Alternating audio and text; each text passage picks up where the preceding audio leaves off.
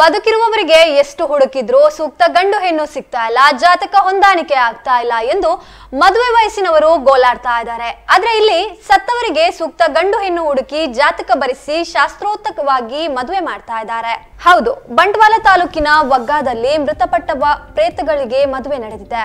ಬಂಟ್ವಾಳ ತಾಲೂಕಿನ ವಗ್ಗ ಎಂಬಲ್ಲಿ ವಧುವಿನ ಕುಟುಂಬ ಹಾಗೂ ಉಳ್ಳಾಲ ತಾಲೂಕಿನ ಕೊನಾಜೆ ಸಮೀಪದ ಬೊಲ್ಮಾ ಎಂಬಲ್ಲಿಯ ವರಣ ಕುಟುಂಬದ ನಡುವೆ ಮದುವೆ ಸಂಬಂಧ ಏರ್ಪಟ್ಟಿದೆ. ಆ ಮದುವೆ ಮನೆಯಲ್ಲಿ ಚಪ್ಪರ ಹಾಕಿ, ಮದುವೆ ಗಂಡಿನ ಪೇಟ ಮದುಮಗಲ ಸೀರೆ, ಹೂ, ಅರಶಿನ ಎಲ್ಲವನ್ನ ಜೋಡಿಸುತ್ತಾ ಸಂಭ್ರಮದಿಂದ ಸಂಬಂಧಿಕರು ಓಡಾಡುತ್ತಿದ್ರು.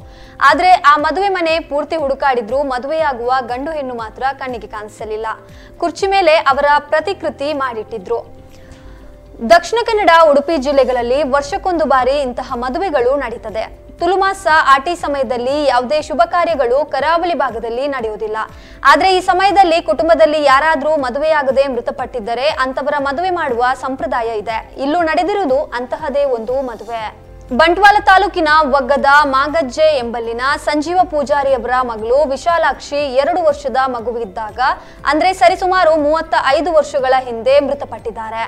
ಇನ್ನು ಉಳ್ಳಾಲದ ಕೊನಾಜಿ ಸಮೀಪದ ಬೊಲ್ಮಾ ಗ್ರಾಮದ ಲಕ್ಷ್ಮಣ್ ಪೂಜಾರಿ ಅವರ ಪುತ್ರ ಧರಣೀಶ್ ಕಳೆದ ಎರಡು ವರ್ಷಗಳ ಹಿಂದೆ ಮೃತಪಟ್ಟಿದ್ದಾರೆ. ಹೃದಯದ ತೊಂದರೆ ಇದ್ದ ಕಾರಣ ಧರಣೀಶ್ ಅವರಿಗೆ ಮದುವೆ ಮಾಡುವ ಬಗ್ಗೆ ಮನೆಯವರು ಯೋಚನೆ ಮಾಡಿರಲಿಲ್ಲ. ಆದ್ರೆ ಧರಣೀಶ್ಗೆ ಮದುವೆ ಆಗ್ಬೇಕು ಅನ್ನುವ ಆಸೆ ಇತ್ತಾದ್ರೂ ಹೃದಯದ ಕಾಯಿಲೆಯಿಂದ ಗುಣಮುಖವಾಗದೆ ಮೃತಪಟ್ಟಿದ್ರು.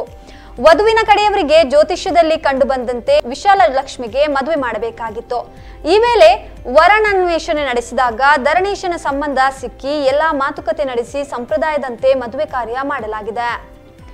ತುಳುನಾಡಿನ ಪುರಾತನ ಸಂಪ್ರದಾಯ ತುಳುನಾಡಿನಲ್ಲಿ ಆಟಿ ಮಾಸದಲ್ಲಿ ನಡೆಯೋ ಈ ಪ್ರೇತಗಳ ಮದುವೆ ವಿಚಿತ್ರ ಅನಿಸಿದ್ರೂ ಬಹಳಷ್ಟು ವರ್ಷದಿಂದ ನಡೆದುಕೊಂಡು ಬಂದಿದೆ. ಮೃತರ ಆತ್ಮಕ್ಕೆ ಸದ್ಗತಿ ಸಿಕ್ಕಿರದೆ ಇದ್ರೆ ಕುಟುಂಬದಲ್ಲಿ ಕಾಣಿಸುವ ಸಮಸ್ಯೆಗಳಿಗೆ ಜ್ಯೋತಿಷ್ಯದಲ್ಲಿ ಕಂಡುಬರುವಂತಹ ಪರಿಹಾರವಾಗಿ ಈ ರೀತಿಯ ಮದುವೆಗಳು ನಡೆಯುತ್ತವೆ.